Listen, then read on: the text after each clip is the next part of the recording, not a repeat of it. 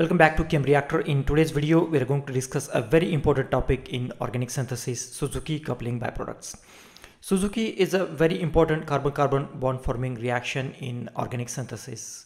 Since it's a very well-known reaction, there are a lot of literatures, a uh, lot, lot of literature on this reaction available on the internet like the reaction as well as the reaction mechanism. But you don't find a lot of uh, reports on the byproducts of this uh, Suzuki coupling reactions.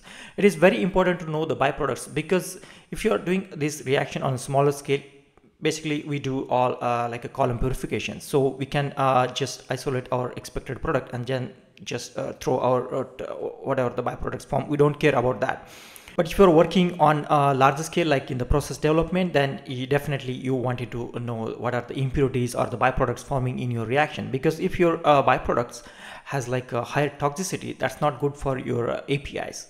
So here uh, I compiled some of the common impurities form or the byproducts form in this uh, Suzuki coupling reaction and if you're working in a process development definitely this will be helpful. Suzuki coupling is a carbon-carbon bond forming reaction in between aliphatic or aryl halide and aliphatic or uh, aryl uh, boronic acids in the presence of uh, metal, uh, palladium metal and base as well as the solvent.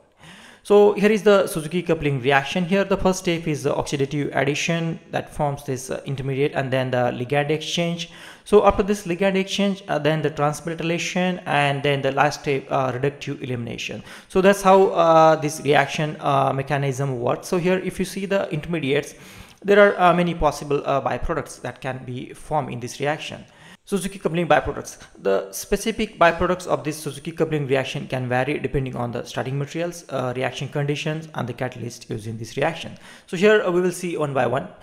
First homo coupling products. Here aryl halide and aryl boronic acid reacts in the presence of this uh, uh, palladium catalyzed coupling reaction. So here it forms this expected product. But along with this, sometimes what happens depending on your starting materials, these two identical uh, starting material couple each other and then it forms these type of uh, byproducts.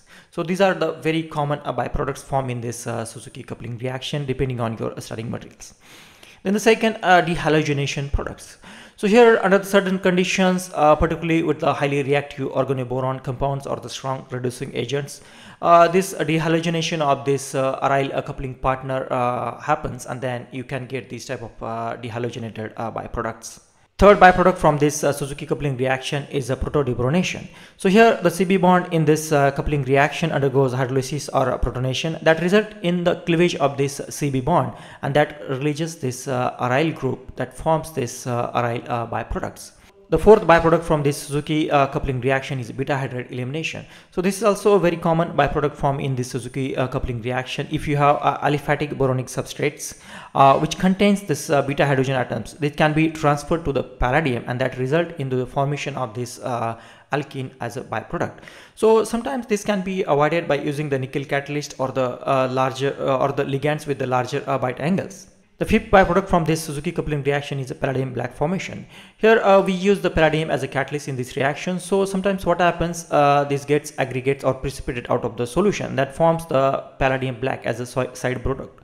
So that can reduce the reaction efficiency of, uh, uh that can reduce the efficiency of your reaction and that can result in the low yields of the desired cross coupling products.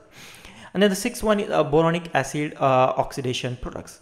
So here uh, the boronic acid used in these uh, coupling reactions are uh, susceptible to oxidation under the certain condition and that can lead to the formation or, or the over oxidation of these uh, boronic acids and that leads to the formation of products like uh, boronic acid dimers, uh, boroxines or the boronic acid esters.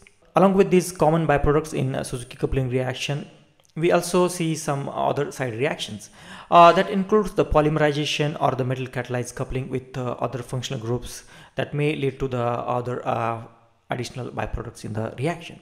So to minimize this uh, formation of side products in uh, Suzuki coupling reaction often involves the careful selection of the uh, reaction conditions that include the catalyst reagents as well as the optimization of the reactor uh, reaction parameters such as the temperature and the reaction time. I hope you enjoyed the video because this is very important reaction especially for the process chemist to know the uh, what are the what can be the impurities form in your reaction or the byproducts.